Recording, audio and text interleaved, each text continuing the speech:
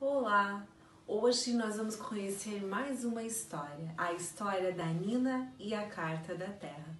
Ela é ilustrada pelo Osmar Júnior e escrita pela Adriane Lippert. Vamos lá? Vamos conhecer essa história?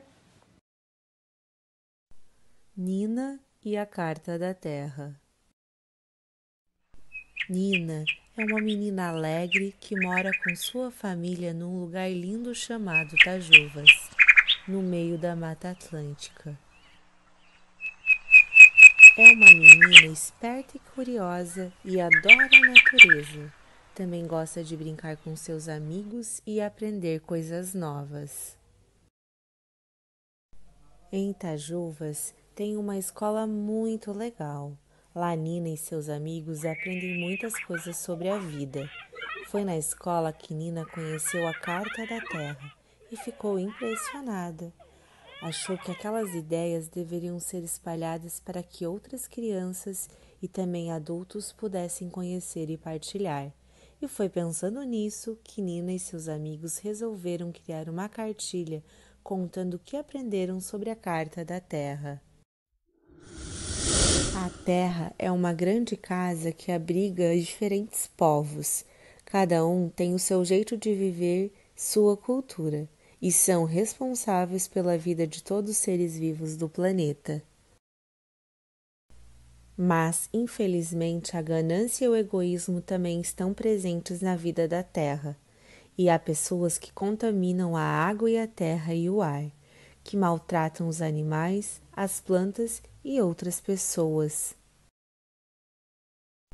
Nosso planeta é cheio de vida e garante a sobrevivência para todos, para todos os seres que necessitam desenvolver com consciência planetária e perceber que dependemos um dos outros para sobreviver. Então, em 1992, o mundo já não andava legal. As coisas não estavam muito bem.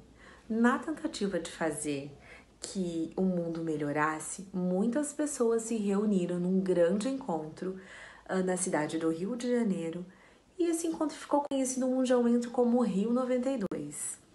Durante esse encontro, vários líderes, vários presidentes de 179 países combinaram algumas regras. A escreveram em um grande documento que foi chamado de Agenda 21 ali ficaram escritas várias ações, várias, que cada país teria que fazer até chegar o século XXI.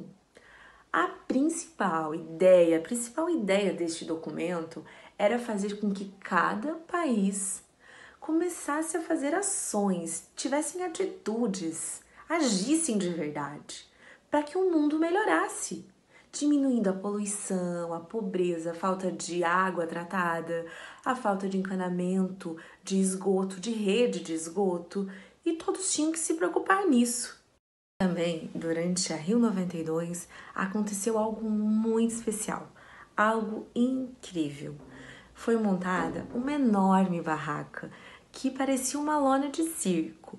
Uh, ali estavam todos os povos do planeta ah, lá estavam índios, ah, curdos, pigmeus, representantes das pessoas que moravam nas favelas, no campo, na cidade, enfim, gente de todos os lugares. Na grande barraca, na reunião, as pessoas decidiram também iniciar a construção de um documento que seriam para todos os povos do mundo. Só que esses mesmos povos iriam participar da construção do documento e também iriam dar a sua opinião. Então, cada continente ficaria responsável por liderar esse trabalho. Durante seis anos, muitas reuniões foram realizadas, muitas reuniões aconteceram. E no ano de 1998, a carta ficou pronta. Ficou pronta. Esta carta chama-se Carta da Terra. Nela está escrito uma linda proposta de viver. Nela está uma maneira diferente de se relacionar com a natureza e com outros seres humanos. A Carta da Terra pede a todos que se esforcem para construir um mundo melhor, que seja justo, sustentável, que respeite as diferenças, que preserve a natureza e defenda as ideias de paz. Vou te contar melhor esses princípios da Carta da Terra. Conheço o modo de viver de outras pessoas. Embora grande parte da população mundial viva nas cidades, há ainda muitas pessoas que vivem no campo. Essas populações têm uma história cultural que precisa ser respeitada e valorizada por todos. Respeite a vida de todos os seres vivos, seja feliz e faça tudo o que puder para garantir o bem-estar de todos. Tenha cuidado com a água, a terra, o ar.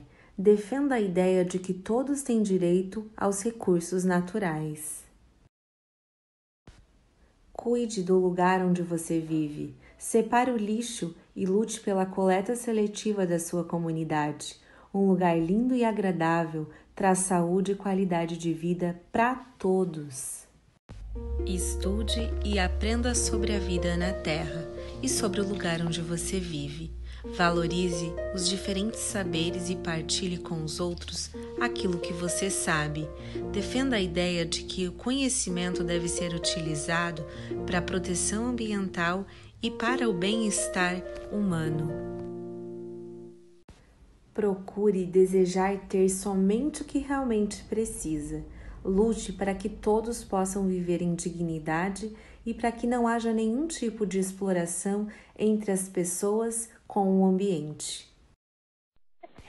Meninos e meninas devem ter os mesmos direitos. Ajude a acabar com a discriminação contra as mulheres. Todas as crianças devem crescer juntas e ter a mesma oportunidade e os mesmos direitos. Mesmo que as pessoas pensem de forma diferente, quando há respeito, elas podem viver em harmonia. Cuide e ame os animais, as plantas e as outras pessoas. Ofereça aos outros a oportunidade de viver e apreciar as belezas do nosso planeta. Discuta com interesse os assuntos que vão lhe ajudar a conviver melhor com as outras pessoas. Busque alternativas para o lugar onde você vive e estimule as pessoas a participar desta construção. Se a sua comunidade e a sua cidade conseguirem oferecer melhor qualidade de vida aos habitantes, todo o planeta ganhará com isso. Fim? Não, você pode continuar essa história colocando em prática os princípios da Carta da Terra, porque agora você já conheceu todos eles.